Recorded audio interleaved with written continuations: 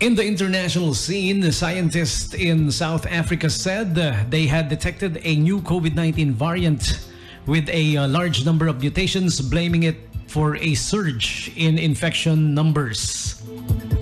The number of daily infections in Africa's hardest hit country has increased tenfold since the start of the month. In response, Britain banned all travel from uh, the country and five other southern African uh, nations as concerns grow about the new variant, which scientists say could be more infectious than Delta and more resistant to current vaccines.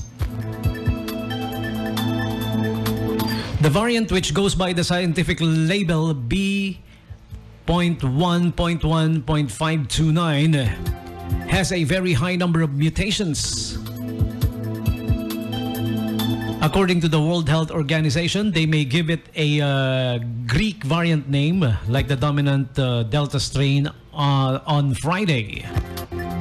The variant has also been detected in Botswana and Hong Kong among travelers from South Africa.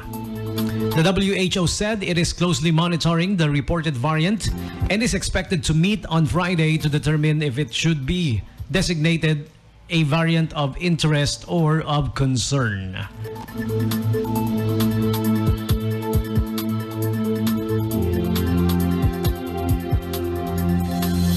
And lastly, from uh, the National Weather Bureau,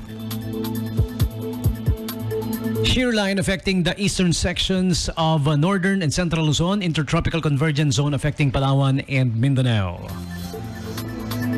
Batanes, Cagayan, Apayao, Isabela, Aurora, Quezon, Camarines Norte, Camarines Sur, and Catanduanes will have cloudy skies with scattered rain showers and thunderstorms.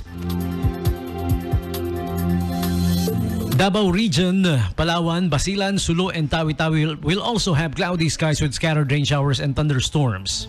Metro Manila and the rest of the country will have partly cloudy to cloudy skies with isolated rain showers and thunderstorms. Subic Bay Freeport, meanwhile, will be uh, cloudy for today, 29 degrees Celsius, the current temperature. Forecasted high today of 31, and today's forecast low was at 24. Sunrise this morning was at 6.06 a.m., sunset later today, 5.27 p.m. And so goes the morning top of the hour news on 895 Subic Bay Radio with reports from the SBMA Media Productions Department, the PCOO, and Yahoo News. This is the uh, top of the hour morning news on Good Morning Subic Bay Radio Show. I'm DJ Tommy G. Stand by for the Morning Brew.